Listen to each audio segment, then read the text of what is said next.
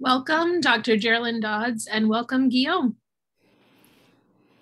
Hola, muy buenas noches a todas y todos. Hello and good evening. My name is Guillaume Kientz. I am the director of the Hispanic Society Museum and Library, and I am thrilled to welcome you to Las Tertulias de Arte Hispano, or Hispanic Art Gathering.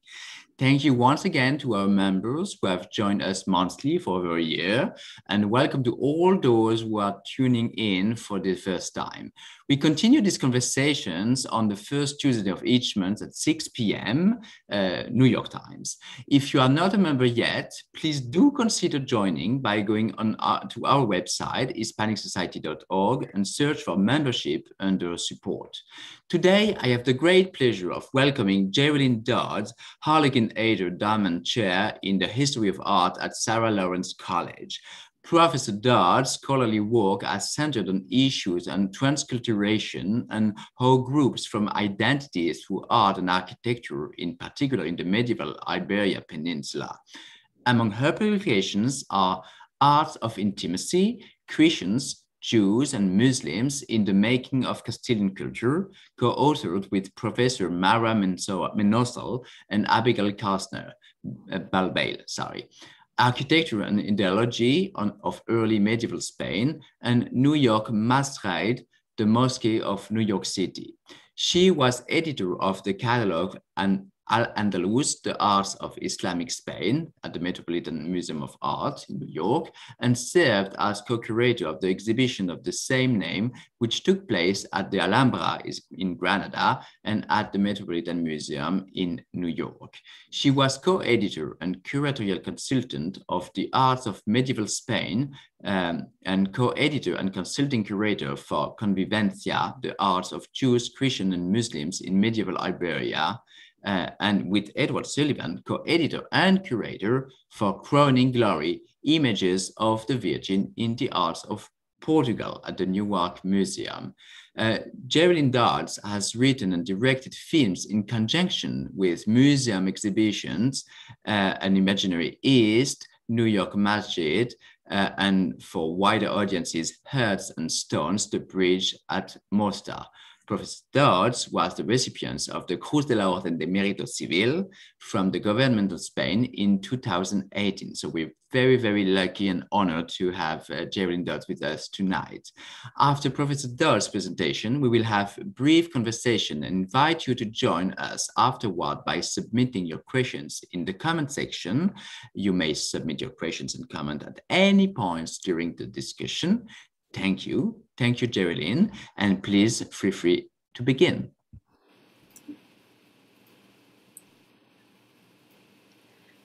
Thank you so much for your kind words.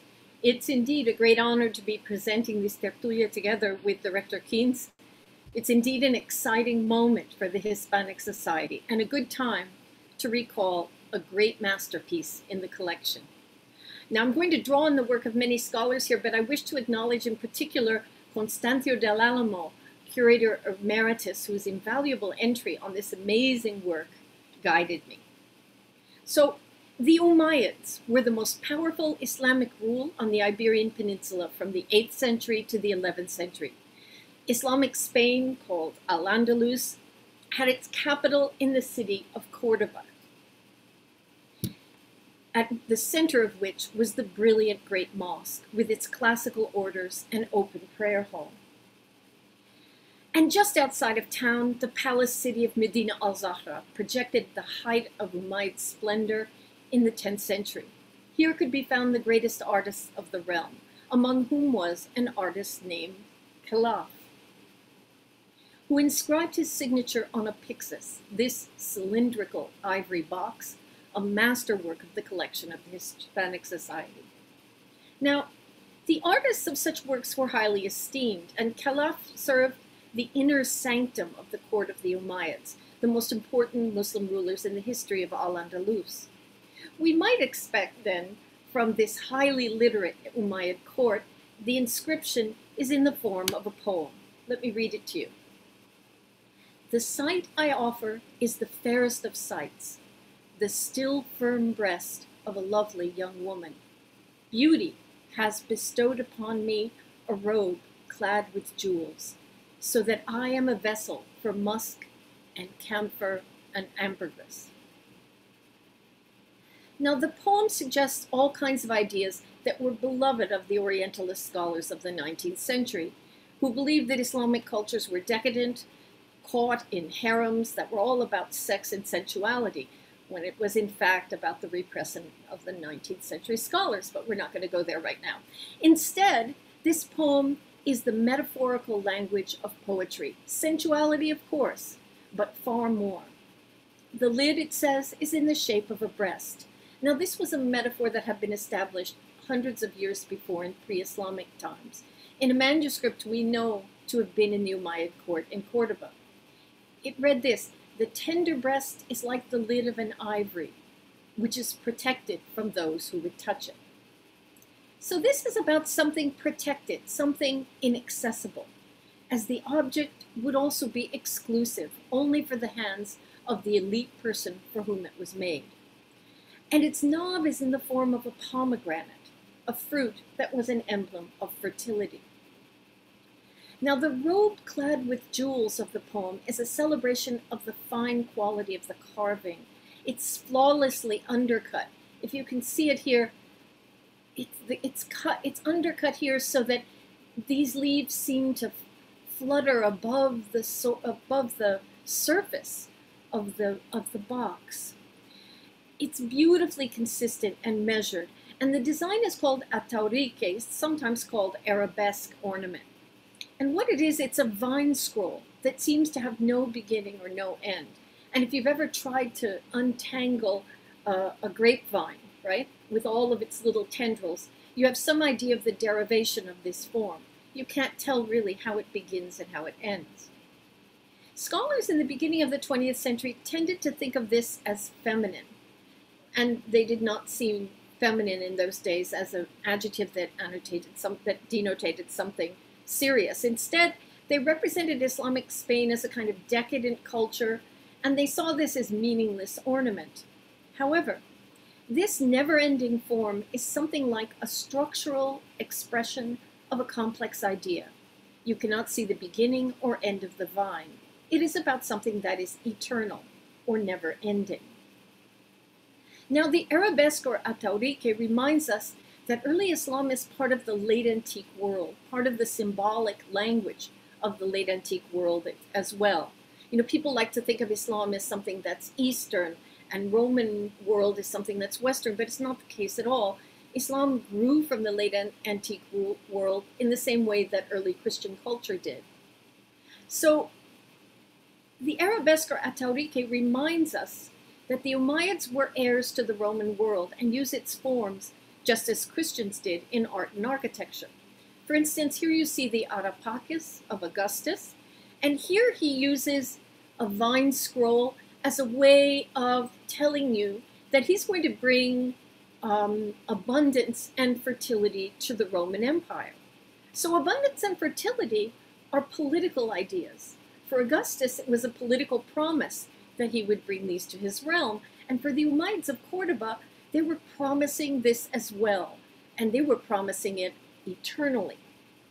A specific kind of vine scrolling fact called the karma is associated with an imperial Umayyad style in Damascus, and those were the Damascus forebearers of the Umayyads of Spain. Now, another box with this never ending vine, made by the same artist, Khalaf, was made for Princess Walida, one of the daughters of Abdurrahman III, the greatest of the Umayyad caliphs. Its inscription tells us this and also where it was made, the palace city of Medina al Zahra that we saw earlier. The women to whom these were given were often mothers to the heirs of the throne. For instance, this is a pyxis made for Subh, the favored concubine of the Caliph Al Hakam II. She's called Umm Walad, mother of the son, in the inscription, an honorific because she bore him an heir, and by bear- bearing an heir, she contributed to the strength and abundance of the caliphate. Now, don't forget Sue, because we're going to return to her later on. Now, this one has not just the vine scroll, but it has little peacocks and little antelopes, little animals. We know that images of living beings are not permitted in religious contexts in Islamic cultures, not in mosques or Qurans, but they appear in plenty in secular contexts. However, this decoration in particular also reminds us that there's a sophisticated attention to complex abstract expression as well, in which non-figural decoration, or as in this case, limited figural decoration, were far more than just ornament. They had multiple elusive meanings. And because in early Islamic cultures there was a real exploration of abstract forms of art as well as figural forms of art, these were two different ways that artistic expression was developed, um, there were multiple elusive meanings. So here the ataurique can mean abundance, but the birds and deer hidden in the foliage of the pyxis can as well. Now here I'm showing you decoration of the palace of Mshatta. It's very near, but this decoration is very close to where Guillaume is right now because it's in the Pergamon Museum. And here in this decoration, here in this decoration, we find the same combination of the never-ending vine and little animals inserted in the inside. So these are the castles of the forebearers of the Umayyads of Spain. So now we're into the political realm as well. These motifs can also commemorate abundance and fertility, with which these women helped to assure the strength of the caliphate in Spain, not just the strength of the old caliphate in Syria, but its continuation in Spain.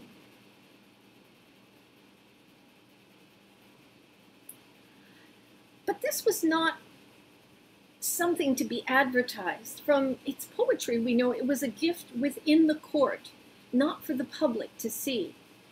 And the things it would contain, musk and camphor and ambergris, were prohibitively expensive. They were from far off places that increased their expense and prestige. They were on the whole scents, S-C-E-N-T-S, they were smells, used in the highest echelons of the Umayyad court and used equally by men as by women. Perfumes were part of sophisticated etiquette at court. Um, a guest, especially an honored guest, would be anointed with these perfumes and unguents, as they were, and they were also part of medical practices. Muhammad himself was said to have never refused a gift of perfume, and he apparently urged his followers to do likewise. So aromatic substances were some of the most precious commodities of trade, and that's what was in this pyxis. They acquired great prestige from their remote origins and consequently from their high cost. So the first one mentioned in the poem is musk. The musk deer well, imagine you're in Spain and the musk deer is found in Manchuria, the Himalayas, Siberia, Mongolia, and most of the musk that came to Al-Andalus was apparently produced in Tibet. It was then and is still the most expensive substance derived from an animal. So not surprisingly today, the musk deer is in danger of extinction, both because of the loss of habitat and the demand for musk. Ambergris was a product of the Indian Ocean where it's sometimes washed ashore, sometimes in South Arabia. It's a waxy substance that's the result of a pathological infection of the intestinal tract of a sperm whale. So of ambergris, Herman Melville wrote, Who would think then that such fine ladies and gentlemen should regale themselves with a perfume found in the inglorious bowels of a sick whale? It is extremely rare and was rarer then.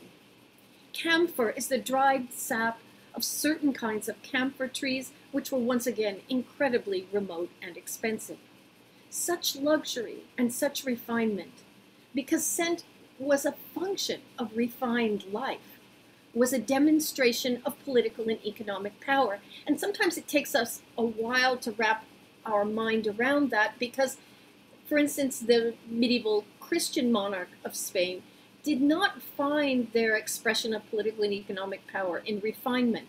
They found it in other things. But this is a totally different context. But these objects not only contained material of great extravagance and prestige, but the material in which they were made was linked to politics and power as well. During 100 years, the court produced incredible ivory boxes. No tradition of this in Iberia existed before the Umayyads, and after the Umayyads left, it petered out very quickly. We'll talk about a couple of, of, of, of, of exclusions to that rule.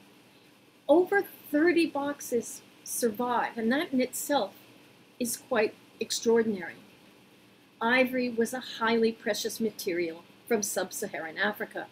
The hardest of all organic materials, it's still very easy to work. It's luminous, at times translucent. It's tactile, and it's organic. Sometimes you can feel warm to the touch. We forget that it's organic. We forget that it's part of an animal. A pyxis is actually a wasteful use of ivory. So you could take slices off this tusk and make them plaques on the outside of a rectangular box. But a pyxis uses the circumference of, of, of the tusk and just empties out the ivory on the inside. So this is a kind of conspicuous consumption. Somehow the Umayyads were showing that they had ivory to burn, which they didn't. It was incredibly expensive, but it was a way of showing, um, well, let's see what it was a way of showing. It was a way of showing the fact that they had control of the trans-Saharan trade in ivory and gold. Now, we should, by rights, be talking about gold at the same time, and, and the conservator at the Victoria and Albert Museum, uh, Mariam Rosser Owen, um, has linked the two in a really interesting way um, because they're both being brought brought north. But of course, the gold has all been melted down, or or is maybe left to us in a few in, in a few coins. But it's the ivory that survives us. So so the ivory trade came up here, and what are the Umayyads telling us? Well, they're telling us in part that um, that they control, they dominate the North African ivory trade. They control it in defiance to this other caliphate. So, for whom did they need to flex their muscles? People often suppose that it was the Christians, and they suppose that because of maps like this one. Look, here's the kingdom of Asturias, Leon, Castile, Navarre, Aragon, and Catalonia, but for some reason they're all one color. They're all one color because the map makers supposed that the most important juxtaposition on the Iberian Peninsula was between Muslims and Christians, when that wasn't the case at all. Um, there are many alliances across that border and many wars between Christian rulers. So these maps are, in a way, quite misleading. And instead, it's better to think of it this way. Um, better to look at things like this because this wasn't the main problem of the Umayyads of the Iberian Peninsula. Their main problem was the Fatimid Caliphate, or the many other groups growing up here. Their main problem was asserting their rights as the new Umayyad Caliphate of the Iberian Peninsula. So each ivory object that they made during this period asserted their control and authority over the gold and ivory trade to sub-Saharan Africa. What they wanted to establish was both their control of the trade, trade route, which the Fatimid dynasty challenged, and also their right to it. Ivory boxes fa fashioned at Medina al-Zahra were given to many different peoples. They were given as diplomatic gifts they reminded other rulers of the Umayyads' control over these trade routes and also of their superior cultural attainment, their capacity to employ artists like Khalaf. Superior culture was a sign of superior claim to rule, another thing that's very, that was new on the Iberian Peninsula to the Umayyads. And they asserted this with other arts as well, like textiles silks which had not been previously made on the Iberian Peninsula, or silks brought from the east. Sometimes these include images of authority like a falconer, the most aristocratic form of hunting. Hunting is symbolic of authority over the land. And you can imagine if you hunt with a falcon, how much authority do you have to have? Because your falcon can, can can fly miles. And in order to have the right to hunt in those lands, you have to be a powerful person as well. So the falconer was one of the great um, was one of the great metaphors for Umayyads and one of the great symbols of authority over the land. And when they were wrought in a in a ivory or a fabulous silk, you know, even more they were showing the kind of re- refinement which was a sign of rule. Others show other kinds of hunting as kinds of, of mastery and dominion or metaphors for other battles, as this image of a lion hunter. Okay, but here's something that we have to think about a little more carefully. This is one arm of a cross. This is the cross partially reconstructed in plexiglass. A cross in the church of San Millán de la Cogolla in the north of, in the north of Spain. But what is this cross of ivory in the style of Medina Azahra doing here? And how does this elite courtly art come to the kingdom of Navarre? So it was way up here in the kingdom of Navarre. It comes here because the it comes here because Queen Toda, who probably gave this cross to the Church of Millán, was the great aunt of the Umayyad Caliph Abd al-Rahman III, probably who gave one of those boxes to his daughter. How was she the great aunt? She was a she was the great aunt, and I don't expect you to read this. There will be no there will be there will be no quiz at the end of this presentation, but she was the aunt because the Umayyads regularly took princesses from the Christian rules of Spain, and in particular the Kingdom of Navarre, as concubines, and they had their heirs with them. They bore their heirs with them.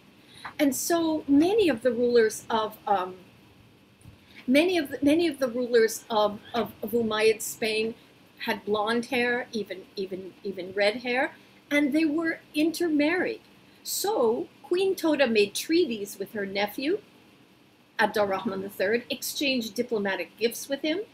And so, in exhibiting this ivory cross in a church, she was showing her Christian rivals that she had this powerful alliance. Religion was not the main issue in this complex political situation. Which brings us back to Subh, whose pyxis this is. You'll remember that she bore the heir of the great Caliph Al-Hakam II, who called her Saida al Kubra, or Great Lady, and of course there was the inscription in which she's called Mother of the Son. The state of the realm depended on fertility and also on her great diplomatic skills. But she was born a Christian noble in Navarre, and when she went to become a concubine and then an honored mother of the heir in um, in in the court of court of, of Medina al-Zahra, she also became the most powerful woman in the realm, essentially reigning on behalf of her son when his father died. Things are always more complex than we imagine them to be. After the fall of the Caliphate, Al-Andalus would be ruled by a number of small kingdoms. So the Caliphate would have been around up to here before, but now you see there's a kingdom of Badajoz, Toledo, Seville, Cordoba, Granada, Murcia, Denia, Valencia. And they had kind of kaleidoscopic political relations with the Christian kingdoms in the north. So that, um, so that the king of Castile might have a feudal client in the kingdom of Toledo, and he would join with them to fight against his brother, who he kind of hated, in the kingdom of Galicia. These kingdoms became allies and feudal clients of the increasingly powerful Christian kingdoms and had to pay them tribute money and sometimes tribute objects and fight alongside them in their wars. So these kingdoms, the, those kingdoms ruled by Muslims, had very limited access to ivory. They no longer controlled that ivory trade, obviously. And they also didn't have the same fine level of craftsmanship as you can see in this uh, Dunit box. When they could get ivory, they mostly used it to try to mimic the power of the Umayyads with images of the hunt and domination. And these caskets often fell into the hands of Christian rulers. People used to it to, to think that that was as part of the booty of war, but that's not actually what was happening. They were coming mostly in trade and as tribute from their feudal clients who had to pay them tribute. And this is how the casket made for the Dunid ruler in Toledo fell into the monastery of Santo Domingo de Silos near Burgos. It was probably donated by a pious ruler or lord who had received it as tribute. And here, the monastery uses the casket to house the most sacred of its holy relics. It did not matter that the casket was made by Muslims or that it had an Arabic inscription. The box was re- recognized to be a receptacle of the most precious materials and artistry, and the fact that it was made by Muslims only verified its elite quality. And they had wished to harness the political authority and power inherent in an ivory box of Umayyad manufacture. They understood its meanings. So the monks of Santo Domingo de Silos repaired it. There was obviously one, one, one plaque that was missing. So they repaired it with an enamel image of Saint Dominic, Santo Domingo, so that all those meanings of power and authority conceived in Al-Andalus could serve the cult of Santo Domingo as well. So the Hispanic Society Pyxis is considered perhaps the finest object of this extraordinary and short moment of ivory manufacture in Al-Andalus. We are so amazingly privileged to have it in New York City. And now as we look at it one last time, we can begin to understand how many layers of meaning it holds. And we can also understand the more complex relations of Christians and Muslims in Al-Andalus through it. Thank you. Well, thank you so much, Doreen, for this fascinating and stimulating um, lecture and which reminds us how great our collection of Islamic art is at the Hispanic Society Museum and Library. And uh, so we're so grateful. Uh, I have many questions, but perhaps I should start with this one. We have spoken in the past of Mudéjar or Hispano-Moresque arts, but no, I, I know that the terminology has changed. Can you tell us something about the, the critics of those terms that are based on religion and what are the the, the right terms we should be using today? Well, yes, I can't I can't be the, the I can't be the ultimate authority, but I could say this. We've come to realize in the same way that we've stopped using the map that I showed in which the main differentiation is between Christians and Muslims, we've come to realize that perhaps terms that concentrate on religion are not the most useful ones for understanding what was happening. So that, for instance, mudéjar is a term that suggests um, a Muslim who is submitted, and it was used to talk about the arts of uh, arts in, in a kind of, kind of Islamic tradition that continued and developed as Christians developed more and more um, power on the Iberian Peninsula. But then people started looking into it and they realized that mudéjar was probably a term that some Muslims used to others, in which they, they, they, were, they were calling them domesticated, as if they were the domesticated animals of, of, of, of Christians. And then, and then we saw that if we assumed that those arts were just the product of Muslims, we were not really opening up to the really amazing fact that um, these arts were becoming part of everybody's uh, identity on the Iberian Peninsula lots of Christians were, were working in this. I mean, actually, the, the work, the people doing the work, there were multi confessional work groups. It wasn't all Muslims working or, or all Christians, but more than that, um, people in the church and rulers were seeing this as part of a, of a shared heritage. They weren't seeing it as Muslim or Christian. So, um, so we, so now we try to be as you know, as as as specific as possible uh, when when we talk. But we but we're trying not to use a special word for um, for, for, for arts that show the impact of Islamic tradition, um, but rather to understand um, what it means that that taste is being adopted by certain groups. So it, it kind of opens things up. So so I, I don't have a ruler with which I hit the the hands of students who you know, the but I just say, look how much more is possible, you know, if you use that. And the same with Hispano-Moresque, which um, which suggests that um, that you know, for instance, and I know, and I certainly know that that Margaret McCabe Quandress is a wonderful scholar of um, of lusterware and and ceramics knows knows this, knows this as well that that that um, it tends to make you sort of just focus in is this a christian? Is this a muslim? What's christian about this? And, and of course has nothing to do with religion. It has to do with traditions that are shared. And how much more exciting is it to talk about that? Right right. Well thank you.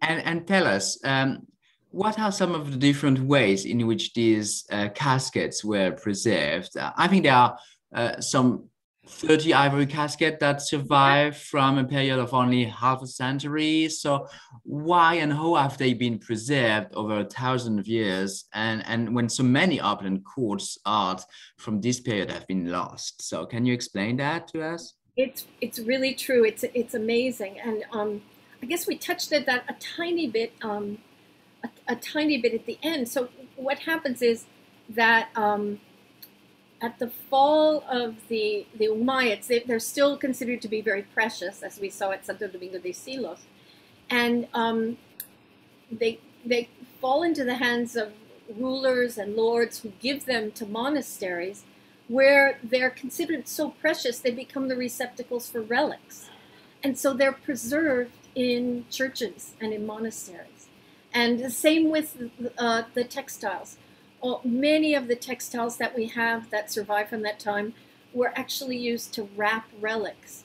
And it's wonderful because it shows you how the, um, the meanings and quality of those works um, were appreciated and understood in a way that surpassed religious difference, right? This was the most precious kind of textile or the most precious kind of box that you, you, could, you could have. Some some of them also pass. There's this wonderful box. It's not an ivory box, but it's a silver and niello box, box in Girona, and it's in the cathedral treasury of Girona. And scholars used to say, well, this is a this is a, a spoil of war, and it shows Christians uh, defeating Muslims. But in fact, but in fact, it was a it was given as payment to a I think a Catalan. I could be wrong, but I think it was given in payment to a Catalan lord who brought his who was a mercenary for one of the Islamic Taifa kingdoms who was fighting against an Islamic Taifa kingdom. You couldn't get more complicated than that. And then he gave it to the church. So even if it later on somebody tried to represent it as a Christian versus Muslim thing, in fact it was from the most complicated of intimate intertwinings of political groups.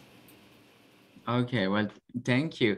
And, and, another question, which is a mystery to me, why does uh, this ivory art nearly disappear on the Iberian Peninsula after the 11th century? Is there a reason for that? Do you know? Uh, because they, um, so remember I showed that, that uh, um, pardon me, I showed the, the, the map of the ivory right. trade. So um, when the Umayyad Caliphate breaks down into these little different groups, none of them have the power to dominate that ivory trade. So the ivory trade get gets taken up by the North African, um, the different North African groups, and it, and I, I, I should I should say that along with the ivory trade was a gold trade. So it was it was really important, and it was actually politically important because supposedly only a caliph can print. Did I say print? uh, you don't print coins. What do you do? You uh, you don't carve them either. I don't know what you do with that, but well, you, we, we see what you we see what you mean. Okay, it can only mint gold can only mint gold coins. So there was just a lot of authority associated with this. So when, when it broke down to these different groups who were actually very dependent on their Christian allies, they totally lost they lost they they lost control of that right. So, so it's not only true for uh, ivory; it's only true for gold, metals, and and all the thing. Okay, I get you. Thank you. And, and just a very basic question. I'm sorry. Um, what about the name Pyxis? How did the Pyxis get its name? I mean, is there an history of this form or an, of the name? I mean, I, what does that mean? So, um, so I've forgotten. So I, I actually, I, when I, when I did this, I, I, I, I actually, I actually went to look it up. I forget, I forget what the term comes from, but it actually, it actually goes back to um, to Greek times. Ooh, ooh, mm-hmm. Can I show you? I have a slide. May I show it? Sure. I, until the last minute, I thought I might, yeah, I could do it if I actually knew what I was doing here. There. Can you see that? No. Not yet. Oh, just just share your screen. I have to share my screen. Just a second. Okay. I have to find you and share my screen. There it is. Okay. There. Oh yes, we is, see you. Can you see that even though I, it's yeah. strange? Okay. The um so, if you can put it full screen, you know. Yeah, let me try. A slideshow. Yeah, you're really you're. Uh, you know what? I'm going to stop the share and I'm going to put it full screen, and then I'll do that. Showing that I'm a luddite. Okay. Okay. I actually. You saw a vase. What? We saw a vase. Yes, you saw you saw a vase, and you also saw that. Let me just let me let me do this in a better way. I'm not going to do it full screen because that's fine. I'm having I'm having troubles of high technical incompetence. There, can you see enough of it? Yeah. Oh, okay. If you can scroll down a bit, yeah. No, it's good. Yes. No, that's this is. Oh, I see. Right. So um, this is a this is a this is a Greek pyxis, um, mm-hmm. uh, late archaic, early classical pyxis, and it was a kind of gift that you gave to a woman at her wedding, and she put cosmetics in it, so scents. Oh, I see. So it's actually a, a form that was traditional for this, that carried through classical times, through Roman times, and um, carried through to to Umayyad times. So the association of this form with scents and cosmetics and unguents goes all the way through. But I'm sorry to have not remembered how the derivation of the term.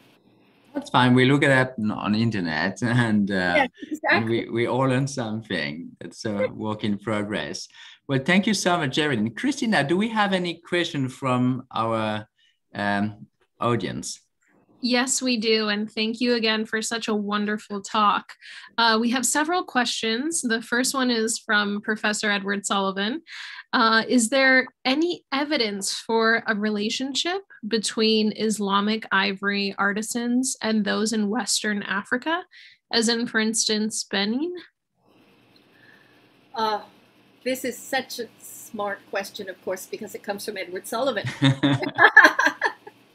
so hi, um, Edward. Hi, Edward. so, um, uh, in the period that I'm talking about now, one of the things that would happen. It's not. This is an anecdote rather than an absolute answer. Um, what would happen is that the Umayyads were um, were working with these Berber clients in North Africa to get control of the ivory trade, and they would get the raw ivory and then they would have them um, they would have they would have their artists in Medina al-Zahra work in them, and then they would give them back to them. And it was considered a kind of one-upmanship. You guys give us the ivory, but we're the ones who know how to make these beautiful and refined objects. That makes me doubt if there's a connection in the Umayyad period between the the, uh, the artists in sub-Saharan Africa and, and in the Iberian Peninsula. But I think that's all I can offer in, in, in terms of an answer. Thank you, Edward. Thank you. And another question is, other than the two works that you showed by Khalaf, do we know of any other works by him signed or attributed? And do we have any biographical information concerning him? we don't have biographical information um, concerning him. We don't have any other. We don't have. A, some people attribute um, one or two of the other boxes from the period of Abdul Rahman III to him, but we don't have any biographical um, biographical information. Um, uh, he doesn't. He has a.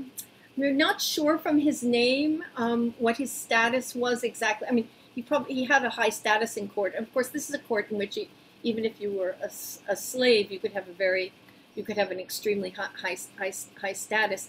And people are actually are having, are sort of working on on how we would establish, um, you know, what kind of lives they led. There's a there's a little mistake in the um, in the epigraphy, um, and some people suggest that that means that he wasn't literate. I, I, I'd rather think it was a mistake in the epigraphy. So you can tell we're all we're all, all, all over the place of this. That he had a high, uh, that he had a fairly high status in court is all we might really say. Thank you.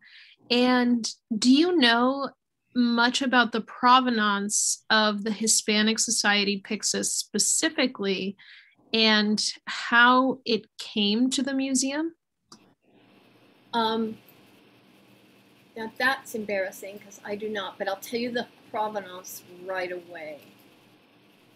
Um, oh, it's probably a Huntington purchase, isn't I'm it? I'm sure it's a Huntington because, and and you'll have to talk to us about that. It's um, so Toussaint Joseph Bauer, 1869, John Malcolm. Oh, oh, so it's after Huntington because he died in 55.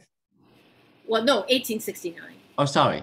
Yeah, Excuse yeah. Me. Huntington bought it in 1913 and gave it to the Hispanic Society in 1914. So it went from um, looks like a, a, a dealer in 1869 to um, John Malcolm of Poltalloch. That sounds like a uh, uh, that sounds like a um, Scottish nobleman. To Lionel Harris. So that that would be that would that would be that would be the provenance. So it came from Huntington. And this is a bit of a follow up question um, from another member, but how did an object like this, and I think you you touched on this uh, in your talk, but how could it have survived the destruction of Medina al-Zahra by the Abbasids? And do you imagine that it escaped by, for example, perhaps being gifted to someone else during the Umayyad Caliphate? Or could we imagine that perhaps it ended up in a church treasury? Well, I yes, we definitely think that it was in a church treasury. Absolutely. Um, I think that before Medina al-Zahra was actually destroyed, all the objects of great value had already been either looted or taken away.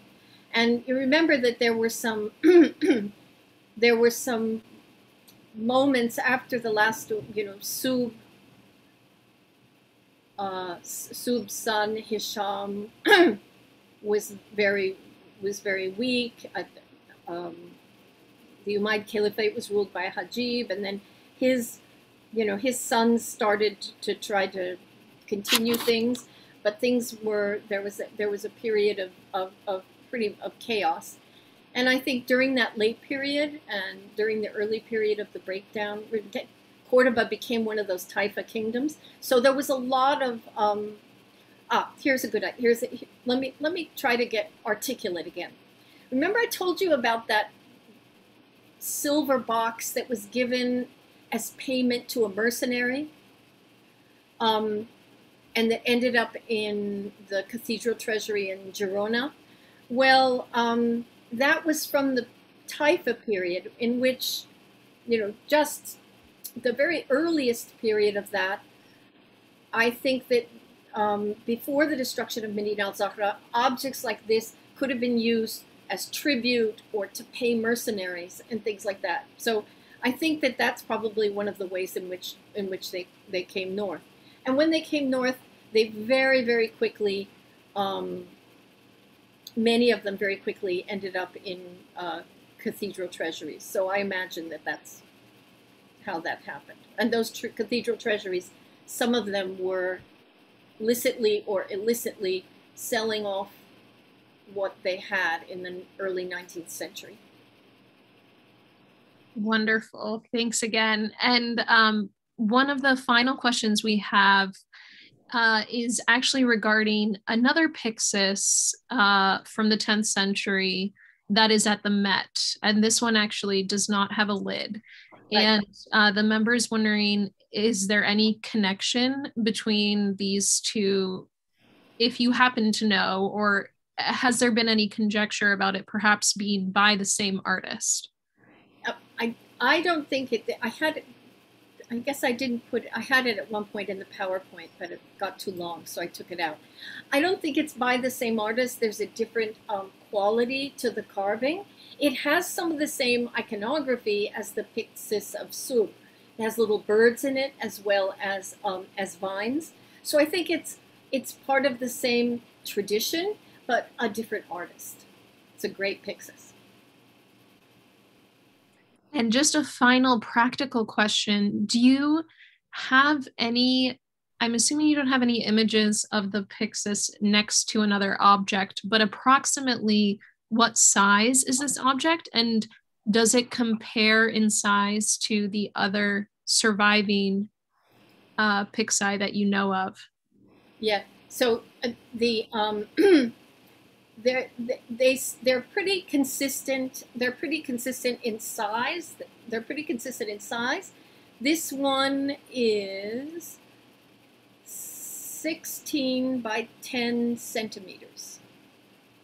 So 16 centimeters high and 10 centimeters uh, in uh, diameter. Well, that's not small. No. That's a decent size. It's a decent size. It is. Absolutely.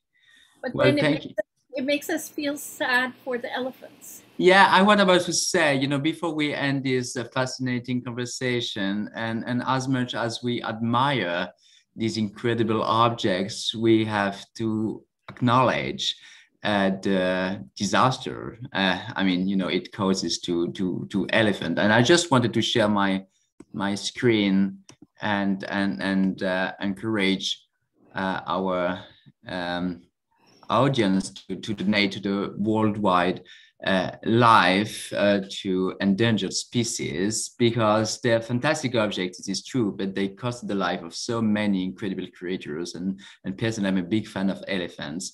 So I, I have a, you know, it's a bittersweet feeling and those objects are fantastic and we're so lucky to have them at the hispanic society but ivory trade is a very serious matter and, and we should all stand against that because it, it, it again it, it, costs the life of so many uh, elephants and uh, so we have to to save the elephants. So um, so um, i wanted to, to balance this this talk with this uh, appeal to you all to to help the, the this very noble uh, cause. Um, so thank you again, uh, Jerrilynn, for this fascinating um, presentation and, and, and, conversation. And um, well, uh, we will have more of those tertulias coming up. Uh, I want to thank you and our members for this wonderful uh, Tertulia tonight. We are thrilled our community and supporters continue to stay involved with the museum. And as a reminder, we have two wonderful exhibitions open at the moment that you may visit in the Heights from University to Silver Screen. It is about the movie and the musicals and the plays in the Heights. That uh, so we're doing an exhibition about that at the Hispanic Society in the East Building Gallery and Latinx Diaspora Stories from Upper Manhattan. It is uh, four murals that we exhibit on the Broadway terrace. So it is open daily from 10 a.m. to 4 p.m. So come and visit and, and, and bring your friends and, and family. Thank you so much for your support. Thank you, Jerrilynn, again and again for this incredible lecture. And, uh, and I, I'll see you all very soon. And take care. Bye. Bye-bye.